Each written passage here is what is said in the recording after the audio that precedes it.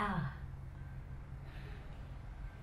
A jeżeli w ogóle jeszcze Państwo macie wszyscy tutaj y, chwilę czasu, chwilę i chęć, to właśnie ja e, taki mam wiersz pies z plasteliny, co podobno bije rekordy popularności, jeżeli chodzi o mnie.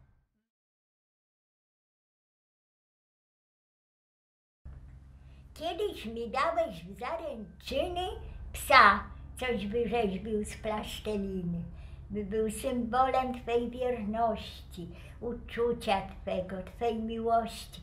Kiedyś mi przynosiłeś kwiaty, stroiłeś słowa w barwne szaty i zarzucałam Ci ramiona drąca uczuciem i spłoniona. Kiedyś mówiłeś mi w kawiarence, że Ty wypełnisz me sny dziewczęce.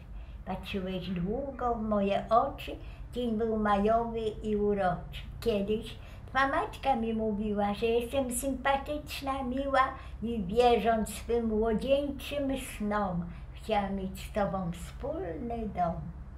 Kiedyś, gdy byłam w białej sukience, od ślubu brałeś mnie na ręce i poprzez domu niosłeś progi jedyny, ukochany, drogi. Kiedyś na palcu mym migota obrączka ślubna blaskiem złota i białe u mej sukni kwiaty. To było dawno, dawno, gdzieś przed laty. A potem, potem było szare życie i gasły gwiazdy na błękicie.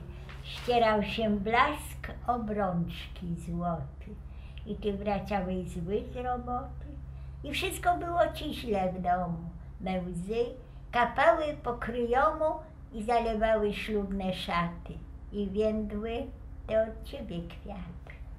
I była burza i padł grom i w gruzy się zawalił dom. Zostałam sama i wśród łez i pogryzł mnie od ciebie pies. Pies coś wyrzeźbił z plasteliny, coś mi go dał na zaręczyny.